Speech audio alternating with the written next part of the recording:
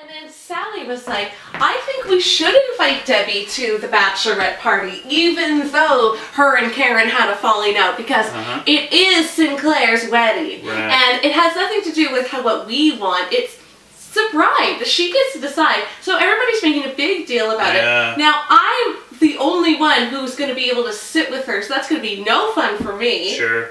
Are you even... Yeah, five. Yeah, you got it. All the way. Baleful polymorph.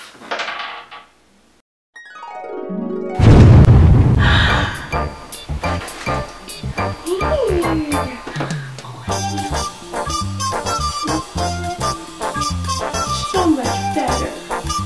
So much better.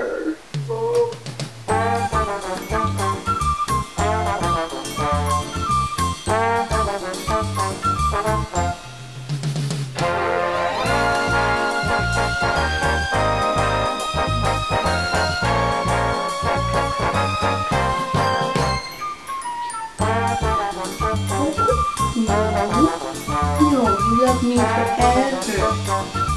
Yeah.